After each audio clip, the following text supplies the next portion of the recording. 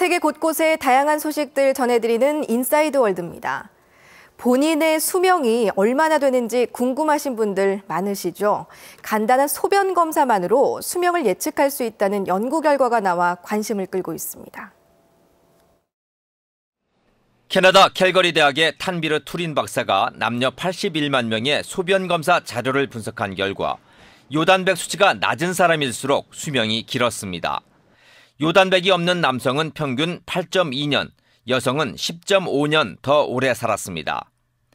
이는 요단백이 신장 기능과 밀접한 관련이 있기 때문으로 분석되고 있습니다. 우리 몸의 필요 영양소인 단백질은 대부분 신장에서 걸러져 몸속으로 보내집니다. 하지만 신장의 여과 기능이 손상되면 단백질이 소변에 섞여 나와 요단백 수치가 올라가게 됩니다.